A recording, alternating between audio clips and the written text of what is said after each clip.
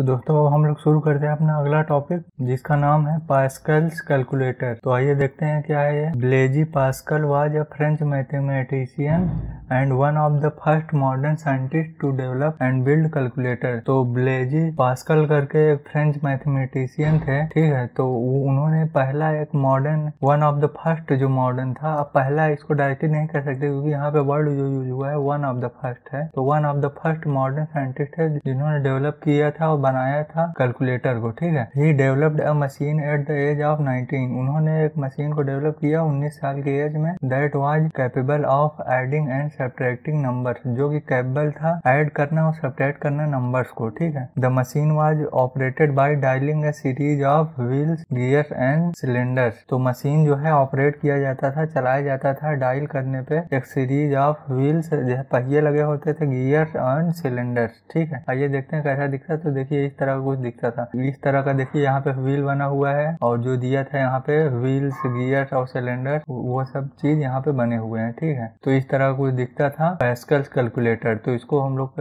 कहेंगे pascals calculator ये है, ठीक है? ये है रियल पिक्चर चलिए बढ़ते हैं आगे।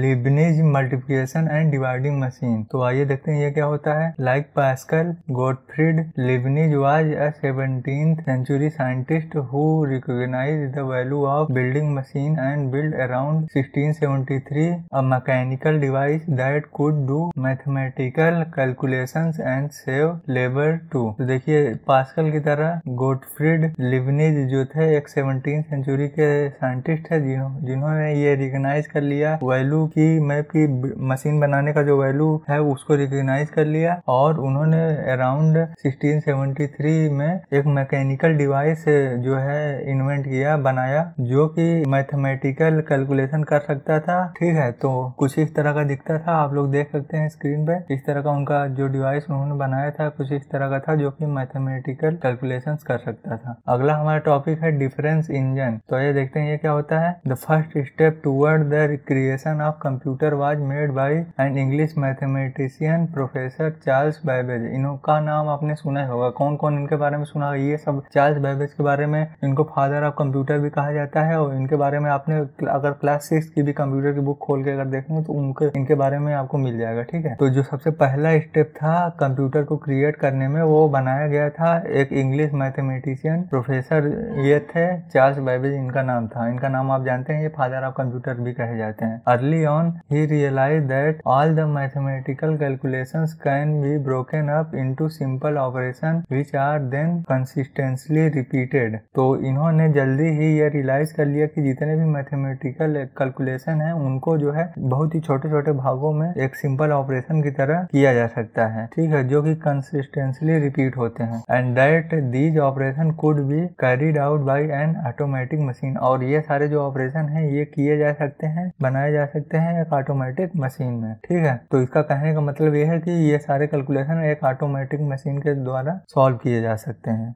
इन द एटीन लगभग 1820 में Charles Babbage started working on a difference engine Charles Babbage ने स्टार्ट कर दिया काम डिफरेंस इंजन पे but after ten years he abandoned it for the analytical engine लेकिन इन्होंने 10 साल तक का इस पे काम किया डिफरेंस इंजन पे, उसके बाद इन्होंने ये काम मतलब बंद कर दिया अबाउंड कर दिया, ठीक है? किसके लिए? एनालिटिकल इंजन के लिए, ठीक है? The real predecessor of the computer जो कि असली प्रीडिसेसर है कंप्यूटर्स का। देखिए, यहाँ पे दिया हुआ है डिफरेंस इंजन की फ़ोटो ये कुछ इस तरह का दिखता था, जो हम लोगों ने बात किया एनालिटिकल इंजन जिसको ये काम बंद कर दिया था, इतना बना था उनका, ठीक है? तो इसके बदले में उन्होंने इस पे काम करना शुरू कर दिया था। एनालिटिकल इंजन पे, ठीक है? Babbage outline the basic element of a modern general purpose Babbage ने आउटलाइन कर दिया जो बेसिक एलिमेंट है मॉडर्न जनरल पर्पस कंप्यूटर का which was based on the method of finite differences जो कि बेस्ड था फाइनाइट डिफरेंसेस के मेथड पे, ठीक है? It uses only arithmetical addition and remove the need for multiplication and division which are more difficult to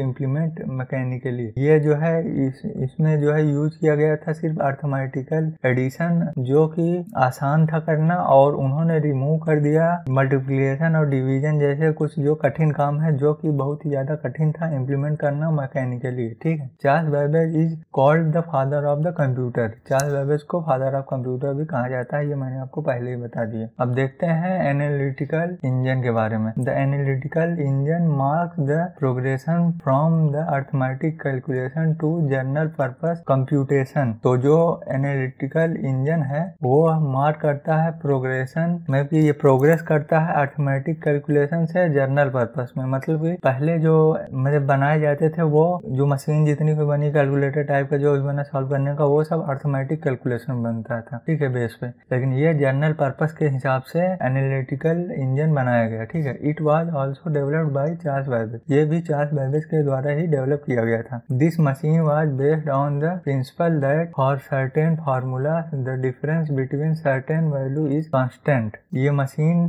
base था principle पे, जो कि था सर्टेन फार्मूला पे बना हुआ और डिफरेंस बिटवीन सर्टेन वैल्यू और सर्टेन वैल्यू के डिफरेंस वैल्यू से बना था, ठीक है? जो कि कांस्टेंट है। The analytical engine has many essential feature found in the modern digital computer तो जो ये एनालिटिकल इंजन था, उसके मेनी एसेंशियल फीचर आज भी मतलब फाउंड है। ये जाते हैं मॉडर्न डिजिटल कंप्यूटर जो आज के जमाने में हम लोग कंप्यूटर यूज़ करते हैं, उसमें भी फाउंड किए जाते हैं, पाए जाते हैं। The engine had had a store memory तो इंजन के अंदर मेमोरी था, जो कि आज के जमाने में भी होता है मेमोरी अगर आप लोग जैसे देखेंगे, कि जैसे मोबाइल भी अगर यूज़ करते हैं उसमें भी रैम होता है मेमोरी होता है, जो स्टोरेज के लिए होता है, उसमें तो ये उस टाइम के भी कंप्यूटर में था। सोचिए कितना पहले बना था कंप्यूटर तब उस टाइम के भी कंप्यूटर में ये चीज़ था। Real number and intermediate real could be held and a separate mill processor where the arithmetic processing was perform और उसके अंदर देखिए, यहाँ पे दिया हुआ है मिल था। मिल को जिसको हम लोग इस टाइम पे प्रोसेसर बोलते हैं। तो उस टाइम पे भी प्रोसेसर था जिसे प्रोसेसर जैसे अगर आप देखेंगे तो आपके मोबाइल में भी कोई न कोई प्रोसेसर लगा होगा। तो उस तरह के प्रोसेसर जो है, जिस उस टाइम पे भी था, ये चीज़ आज भी फॉलो किया जा रहा है। जैसे कि ये कंप्यूटर में प्रोसेसर होता है मोबाइल का अलग प्रोसेसर होता है। ठीक है तो इस तरह का था। It had an internal stock of four arithmetic function and could perform direct multiplication and division इसके अंदर एक इंटरनल स्टॉक था, जो कि चार अर्थमेटिक फ़ंक्शन का था, ठीक है? एंड ये परफॉर्म कर सकता था डायरेक्ट मल्टीप्लिकेशन मल्टीप्लिकेशन और डिवीज़न डायरेक्टली परफॉर्म कर सकता था। It was also capable of function like ये केबल था कुछ फ़ंक्शन जैसे कि इसके अंदर कुछ फ़ंक्शन थे, जैसे कि कंडीशनल ब्रांचिंग हो गया लूपिंग हो गया, जिसको हम लोग इंटरेशन बोलते हैं। उसके बाद माइक्रो प्रोग्रामिंग हो गया पैरलर प्रोसेसिंग हो गया। पैरलर प्रोसेसिंग का मतलब है एक साथ कई काम करना, जैसे मल्टीटास्क करके, जैसे आप अपने मोबाइल का एग्ज़ाम्पल मैं आपको दूँ तो एक साथ आप दो तीन ऐप यूज़ कर सकते हैं। उसको मतलब कि एक टाइम पे स्क्रीन पे दिखेगा एक ही, लेकिन जब आप ऐप स्विच करेंगे रिसेंट ऐप में जाके तो वो मेमोरी में रहता है। तो उसी तरह से ये भी था। उस टाइम पे सोचिए, उस जमाने में। पहले प्रोसेसिंग कर सकता था। लाइचिंग कर सकता था एंड पोलिंग ईटीसी इस तरह के कई सारे अलग अलग फीचर थे, ठीक है? The logical structure of the analytical engine was essentially the same as that which has dominated computer design in the electronic era तो जो लॉजिकल स्ट्रक्चर था एनालिटिकल इंजन का, वो मतलब लगभग सेम ही था, जो कि इस टाइम पे डोमिनेट कर रहे हैं। जैसे मॉडर्न कंप्यूटर इस टाइम पे जो चल रहे हैं ये और उस टाइम का लॉजिकल स्ट्रक्चर सेम ही था, ठीक है? और ये उसकी फ़ोटो है, आप लोग देख सकते हैं द एनालिटिकल इंजन का। ये कुछ इस तरह का दिखता था, ठीक है? चलिए बढ़ते हैं आगे और अगला हमारा टॉपिक है mechanical and electrical calculator in the beginning of nineteen century उन्नीसवी शताब्दी के शुरुआत में the mechanical calculator was developed to perform all sort of mathematical calculation एक मैकेनिकल कैलकुलेटर डेवलप किया गया, जो कि परफॉर्म कर सकता था सभी तरह के मैथमेटिकल कैलकुलेशन जितने भी गुड़ा जोड़ घटाना गुड़ा भाग होता है, सब परफॉर्म करता था अप टू नाइनटीन सिक्सटीज उन्नीस तक इट वॉज़ वाइडली यूज़ मतलब की उन्नीस तक ये यूज़ किया जाता था, ठीक है? क्या? मैकेनिकल कैलकुलेटर 1960 तक वाइडली यूज़ किया जाता था। Later the rotating part of mechanical calculator was replace by electric motor उसके बाद में जो रोटेटिंग पार्ट होता था मैकेनिकल कैलकुलेटर का, उसको रिप्लेस कर दिया गया एक इलेक्ट्रिक मोटर से, ठीक है? So it was called the electric electrical calculator उसके बाद इसको कहा जाने लगा इलेक्ट्रिकल कैलकुलेटर ठीक है? आशा करता हूँ आपको इतना समझ में आ गया होगा अच्छे से। कोई भी दिक्कत हो कमेंट करके पूछ लीजिए। तो ये कुछ इस तरह का था मैकेनिकल एंड इलेक्ट्रिकल कैलकुलेटर कुछ इस तरह का दिखता था, इसके अंदर भी मतलब मोटर लगा हुआ था, जैसे मॉडर्न में लगता है, ठीक है? अब देखते हैं हम लोग आगे। मॉडर्न इलेक्ट्रॉनिक कैलकुलेटर ये हमारा अगला टॉपिक है। आइए देखते हैं। The electronic calculator use in nineteen sixties was run with electron tube which was quite bulky जो 1960 में इलेक्ट्रॉनिक कैलकुलेटर यूज़ किया जाता था, वो रन करता था इलेक्ट्रॉन ट्यूब से और इसलिए वो बहुत ही ज़्यादा बल्कि था। जैसा कि आप लोग फ़ोटो में देख रहे थे, कितना बड़ा है, कितना बल्कि लग रहा है। आज के जमाने के अगर मॉडर्न कैलकुलेटर देखेंगे तो उससे बहुत ज़्यादा बल्कि लग रहा है, बहुत ही भारी होता था ये। Later it was replace with transistors and as a result the size of calculator become fairly small लेकिन बाद में इसको रिप्लेस कर दिया गया ट्रांजिस्टर से, मदद से और उस वजह से उसका रिज़ल्ट ये हुआ कि कैलकुलेटर का जो साइज़ है बहुत ही ज़्यादा छोटा हो गया स्मॉल हो गया कॉम्पैक्ट हो गए, ठीक है? The modern electronic calculator can compute all kind of mathematical computation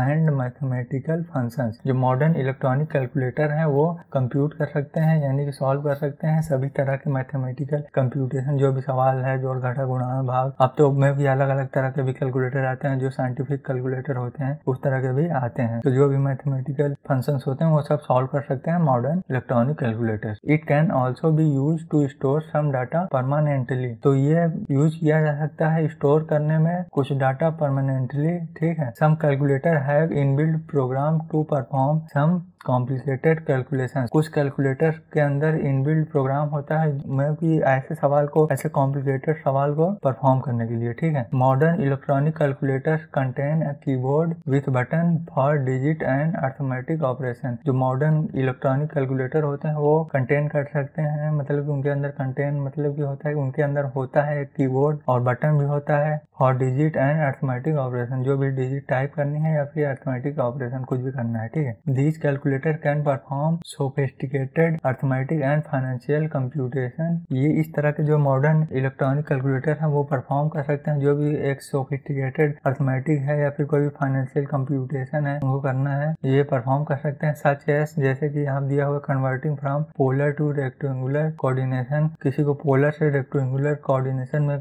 convert करना है, वो हो सकता है मॉडर्न कैलकुलेटर है, ठीक है। Taking square root square root वगैरह निकालना हो गया। Computing logarithm and trigonometric relationship. Logarithm को कंप्यूट करना, सॉल्व करना या फिर टिग्नोमेट्रिक रिलेशनशिप को कुछ में टिग्नोमेट्रिक रिलेटेड अगर कोई भी चीज़ है, उसको सॉल्व करना मॉडर्न जो है कैलकुलेटर कर सकते हैं। तो देखिए यहाँ पे एक मॉडर्न कैलकुलेटर की फ़ोटो है, जिसको हम लोग इलेक्ट्रॉनिक कैलकुलेटर भी कहते हैं। देखिए कुछ इस तरह का होता है, इसमें देखिए नंबर है और यहाँ पे बहुत सारे परसेंटेज के दिए हुए हैं और अलग अलग तरह के बटन दिए हुए हैं, ठीक है? तो अगला हमारा टॉपिक है कंप्यूटर जनरेशन आइए देखते हैं कंप्यूटर के जनरेशन कैसे थे? The evolution of computer started from sixteen century and resulted in today's modern machine जो इवोल्यूशन है कंप्यूटर का, वो शुरू हुआ था सोलहवीं शताब्दी से और आज तक उसका रिज़ल्ट हम लोग देख सकते हैं कि नई नई टेक्नोलॉजी आती जा रही है समय समय पे। हर साल नया नया इन्वेंट हो रहा है। The present day computer however has also undergone rapid change over the year जो आजकल के समय के कंप्यूटर हैं, वो भी बहुत ही तेज़ी से, बहुत ही तेज़ी से चेंज हो रहे हैं। अगर हम लोग देखें पिछले कुछ सालों में तो बहुत ही ज़्यादा चेंज आया है, बहुत ही ज़्यादा डेवलपमेंट हुआ है। This period during which the evolution of computer to place can be divided into five distinct phase known as generation of computer जो कंप्यूटर का जनरेशन है पूरा, जहाँ से भी जो सोलहवीं शताब्दी से हम लोग बोल रहे हैं कि इसका एवोल्यूशन शुरू हुआ तो इसको पाँच भागों में डिवाइड किया जा सकता है। पाँच जनरेशन में डिवाइड किया जा सकता है, जिसको हम लोग जनरेशन ऑफ़ कंप्यूटर कहते हैं, ठीक है?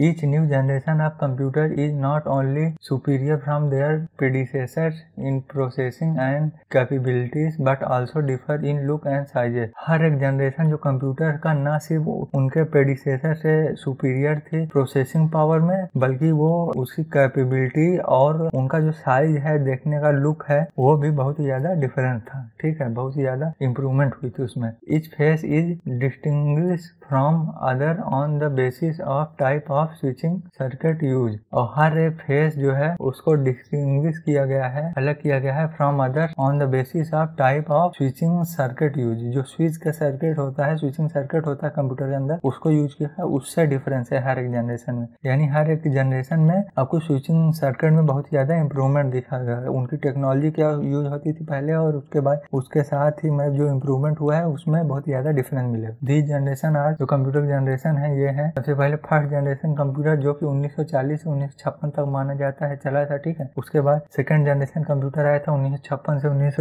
तक। उसके बाद थर्ड जनरेशन कंप्यूटर आया था उन्नीस से उन्नीस तक। फोर्थ जनरेशन जिसको हम लोग बोलते हैं कंप्यूटर, वो उन्नीस सौ इकहत्तर से शुरू हुआ था और अभी तक चल रहा है प्रेजेंट डे तक। उसके बाद फिफ्थ जनरेशन कंप्यूटर को हम लोग प्रेजेंट एंड बियॉन्ड मानते हैं, ठीक है? तो ये ऐसे हमारे कुछ जनरेशन ऑफ़ कंप्यूटर